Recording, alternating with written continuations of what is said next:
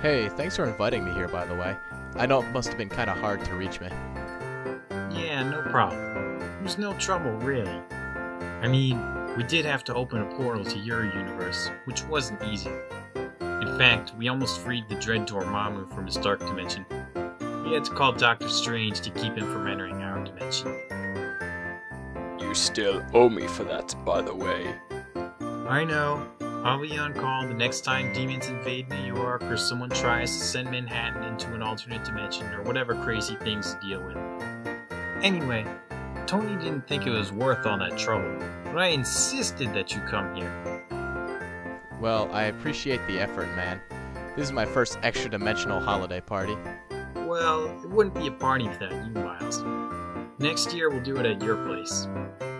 Eh, I don't know. I mean, in my world, half the guys here are dead, including you, in case you forgot. Hmm, fair point. Still, it's nice to see you again, Miles. Thanks, Peter. Um, secret identity? Oh, sorry. So, I've been listening to some Zendaya. Who's Zendaya? Ah, nothing like the sound of royalty free Christmas music. Hey, it's Spidey and Diet Spidey. How's it going? Heh, Diet Spidey. That's a good one. Says the guy who wears a mostly red costume with dark highlights and large white eyes. Glass houses, my friend. Yeah, I do get that occasionally, but mostly people usually say I'm a ripoff of Deathstroke. Which is absolutely not true. And if anyone says it is, I'll jump out of this screen, find you, and cut out your eye. Does he do that a lot? Yes, yes he does. It's best just not to ask. So anyway, what I wanted to say is that this punch doesn't have much of a kick to it, so I decided to fix it. Wait, you spiked the punch? Yeah, pretty cool, right? No, not cool. You do realize there's people here who aren't old enough to drink yet. Like you, I'm guessing. No, I'm over 21, alright? I'm married and I have a job in an apartment. But Sam, Ava, and Miles here aren't old enough. Also, everyone hates the guy at the party who spikes the punch. Not a big deal for me though. I can't even get drunk because of my healing factor. Yeah, whatever. Hey, did I ever tell you about? Hello everyone! I'd like to thank you all for coming to my holiday party. We're gathered here today to celebrate that joy that is Christmas and those other holidays that nobody really pays attention to. Wow. Way to disrespect Hanukkah. And Kwanzaa. And what better way to celebrate this time of giving and togetherness than to revel in the purchasing and receiving of commercial products? Now it's time for our secret Santa gift giving. You'll all follow me to the Christmas tree. I hope you all obey the $300 minimum. Um, well, Did you not get a $300 gift? I'm sorry. I can't afford it on a photographer's salary. Lady, the Secret Santa gift exchange is sacred. Going below the $300 limit violates the sacredness of it. You've just gone and violated Santa. Are you happy? How about we just move on? Let's see what I got. It's a store bought Spider Man costume.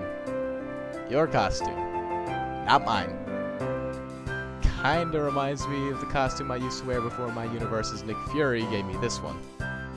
Yeah, I've seen those before. There's no way that's over $300. Nope. That was my gift. And I can tell you, it was only $20. How? Oh. Did no one follow the $300 minimum?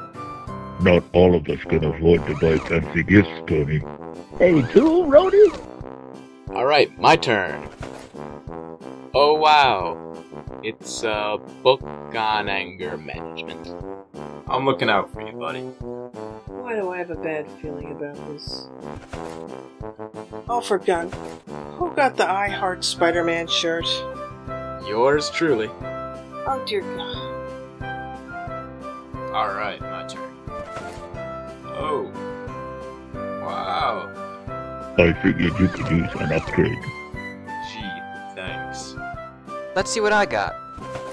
Oh boy. Please don't tell me this is what I think it is. Hey, man. All that shrinking can be good for you. It's gotta have some side effects.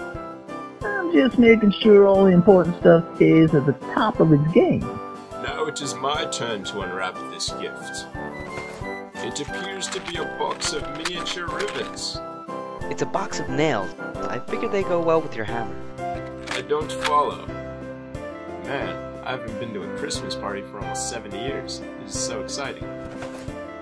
This a sword. To go with your shield. I wonder what I got. A gun. Yeah, I figure that everyone should have at least one. I got six more like that at home. Is this even legal in the state of New York? I believe it is now my turn to open a colorful box. What is this? It's a book of idioms. I figured it could help you out. What? You dare question my intelligence? Drax! Chill out, man. Let's see what I got. Wow. Bug spray. Who did this? That was me. I just did it for the satisfaction. Come on, Wolvie. I expected better of you. Well, it could be worse. You could be a 20 year old college student who makes Lego films in his parents' basement. Wow. You really know how to hurt a guy. And who's terrible at voice acting. Why do I even put up with you? Because deep down, you know you love me. Don't ask. Now, who's that? Many presents later. Well, that looks like all the gifts. All right, time to start partying again. Yeah, time to open the keg. Rum eggnog all around. Hold on. I want to say something first. Look, getting cool presents is nice and all. $300 present.